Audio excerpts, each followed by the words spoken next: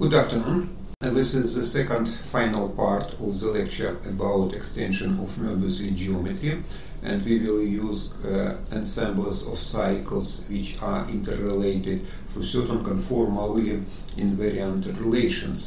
So uh, our basic group of symmetries which we are uh, considering are linear fractional transformations which are defined by 2 times 2 matrices but actually not necessarily uh, defined just on the two-dimensional plane. It can be uh, used and defined for arbitrary dimensionality and arbitrary signature of the metric in corresponding um, space, pseudo-Euclidean space. Uh, when uh, naturally invariant family of objects is uh, quadratic forms or cycles defined by such quadratic forms and a Möbius transformation of such quadratic form will be another uh, quadratic form which given by matrix conjugation. So uh, this is expression for the image of calculation um, cycles under Möbius transformation. And this allow to define natural invariant uh, product between the two cycles is defined as a trace of the product of corresponding 2 times 2 matrices, a real part of it. Uh, in two dimensions, in particular case, uh, we have a familiar expression which was used on several occasions in this course, uh, and it's uh, define uh, many mm, helpful geometrical relation. So uh, one of the key ingredient in the construction which we consider it is norm normalization. It's determinant normalization which uh, related to the inner product uh, of a cycle of itself having value plus or minus 1. And when we established what um, collection of various uh, geometrical relations like uh, to be a flat like straight line or to be Lobachevsky line which is orthogonal to the uh, boundary of the half space or it's uh, to be a point uh, zero uh, radius cycle or to be orthogonal between two cycles uh, this is defined in terms of inner product and certain values of inner product to be equal to zero. When uh, there is a family of second order quadratic relations, uh, which are, um, for example, is a tangency relation between two cycles or its inversive distance, which is very well known in classical inversive geometry. Uh, tag uh, on spirit we also can define a Steiner power of a cycle with respect to another cycle. So all of these second order relation are simplified uh, if we will use um, normalization, determinant normalization of cycles and when um, we, uh, in order to solve certain geometrical construction, we just need a collection of linear equation with additional one quadratic relation which define normalization of cycles. As examples, we consider it uh, Poincare extension from the boundary of half space, like half plane, from the straight line to the upper half plane and extension can be naturally done in several different ways. So classical picture is given by the semicircles with diameter on the real line but it's not necessary to be uh, circles which are orthogonal to the real line. It can be uh, circles which make just very um, just one uh, fixed angle with the real line and it's even not necessarily need to be circles. It can be parabolas or hyperbolas with certain relations that allow to define uh, extension to the upper half plane uh, from the boundary. Möbius transformation from the boundary to the entire half space. When we have made parametrization of uh, loxodromes loxodromes are Möbius uh, transformation of the logarithmic spirals and parameterization is provided by the three uh, different cycles two cycles given as red one here intersect the green one in the points of the logarithmic spiral or uh, loxodromes made one full turn around the, uh, its source. And when there is an important notion, what we have here equivalence, uh, like in um, Poincare extension as well, we have um, ensembles uh, which define exactly the same uh, define exactly the same loxodrome, uh, but uh, ensembles are different. So here is an animation which demonstrate uh, different triples of cycles defining the same loxodrome. And next example would be uh, continued fractions. Uh, continued fractions naturally uh, presented by uh, infinite chain, countable chain of cycles which are tangent to the real line. Such cycles are known as horocycles, and these horocycles uh, very helpful in the discussion of convergence speed for particular continued fraction. Uh, so the uh, final example which we considered on the uh, previous lecture was um, condition for discrete integrability of uh, certain systems, uh, dynamical systems, and it's turned out what uh, compatibility condition for coefficients of this uh, discrete system are in nice correspondence with classical geometrical construction which come back to the ancient Greek geometry. So this is very interesting connection which illustrates what mathematics is unique and actually it's very difficult to separate it in different uh, disconnected fields. Now always we discover something which breaks the wall and expand from one area to very surprising directions. Further example which uh, we will introduce uh, consists of uh, not only infinite but also from continuous family of cycles. So and it's related to the wave propagation. So Huygens principle tell us what if we have a wave front uh, here in position 1 red one and when we'll draw the collection of uh, cycles with the center on this wave front with the same uh, radius then we will get envelope of this all these cycles as wavefront uh, in the next moment of time uh, for the homogeneous media. That rule work uh, for any form of the wavefront. So here it is a straight line or the circle. So the naturally spreading of waves is parameterized uh, by such infinite families of cycles.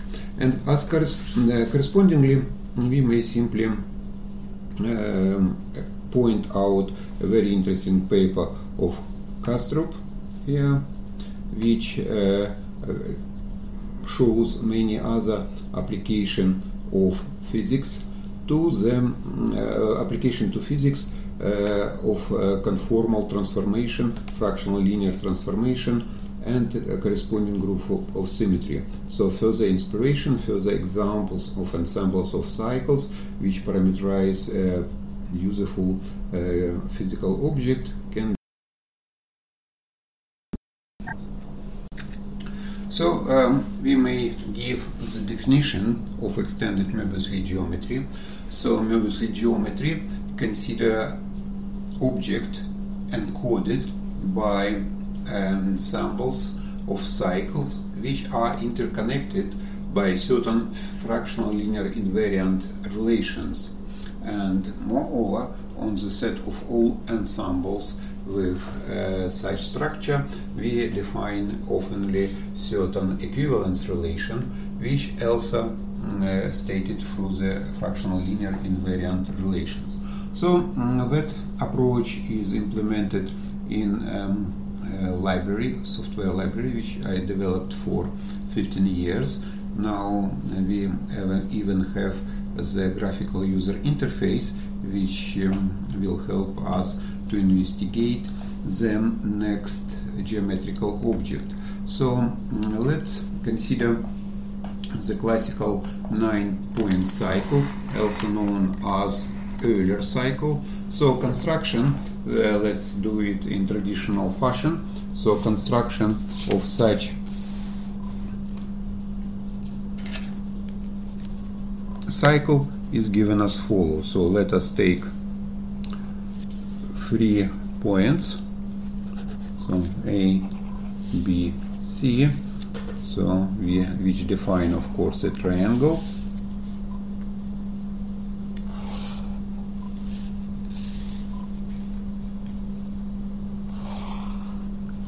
Let us drop a perpendicular to each side so we will draw it in a dashed line. So a foot of this perpendicular is AH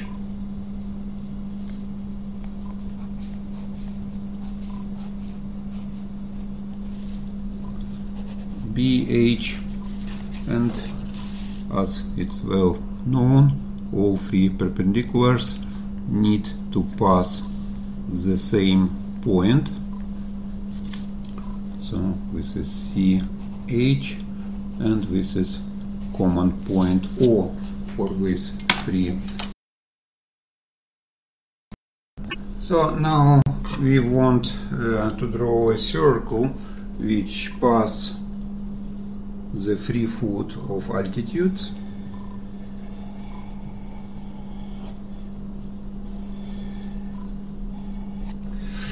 And it will intersect the sides here intersection point is the same almost. So intersect the sides of a triangle in some additional points.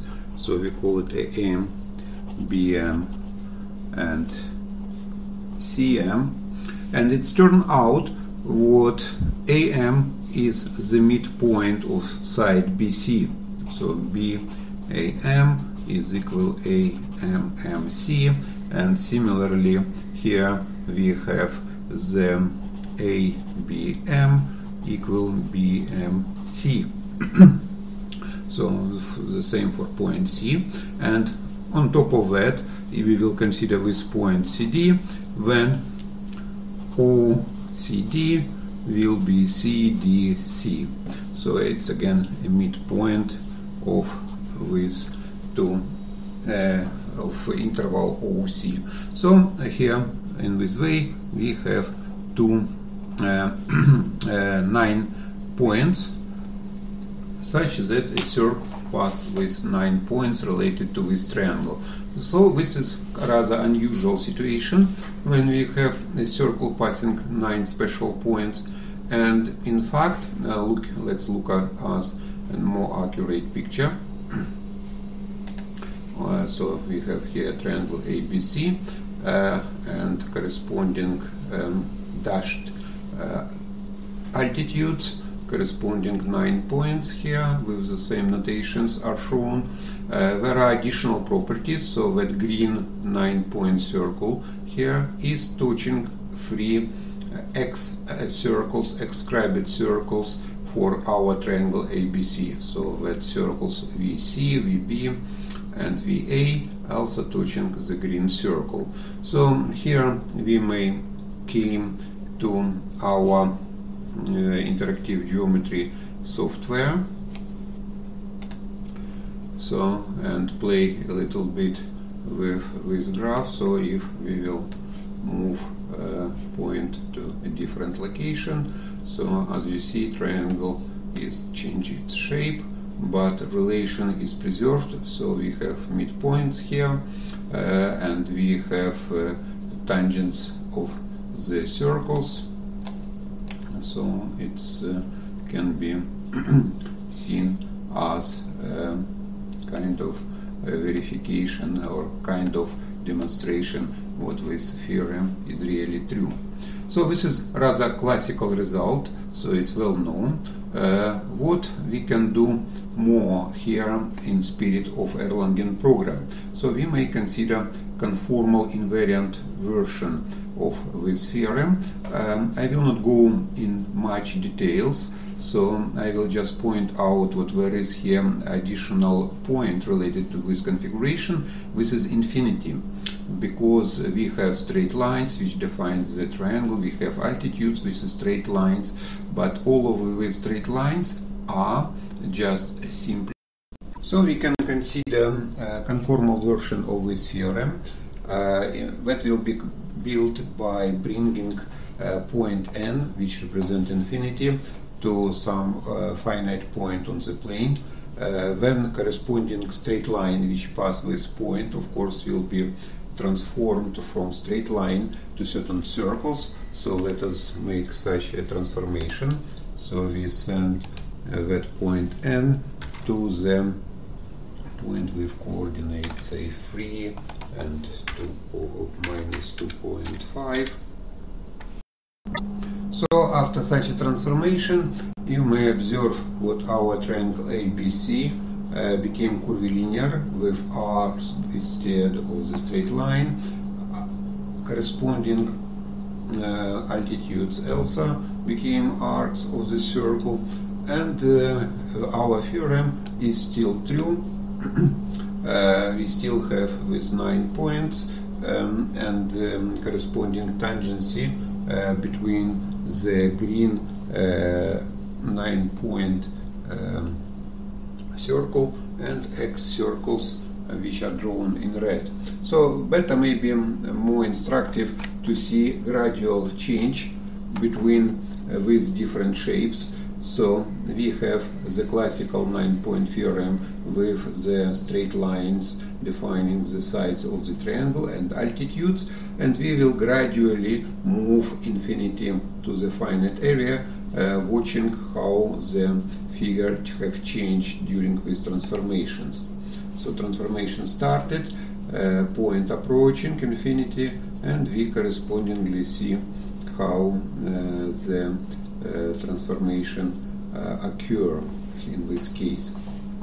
So just maybe a bit larger picture, the same picture is a bit larger. So we have point n, which represent in the initial configuration infinity, curvilinear triangle ABC, the nine-point theorem, uh, nine-point circle still passing all nine points, and tangent to corresponding objects. Uh, we can do even more. Uh, we may consider hyperbolic version of this theorem, uh, namely we can change the um, definition what is uh, called cycle in our case. So we still have that straight lines uh, which defines the triangle ABC, but now altitudes uh, defined in the uh, orthogonality uh, hyperbolic space, where orthogonality of two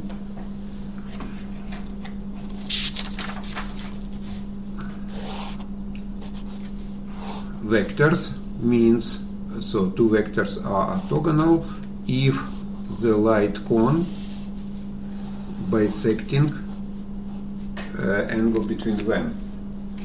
So if these angles are equal, then it's orthogonality in the hyperbolic case, as we have discussed before in our course.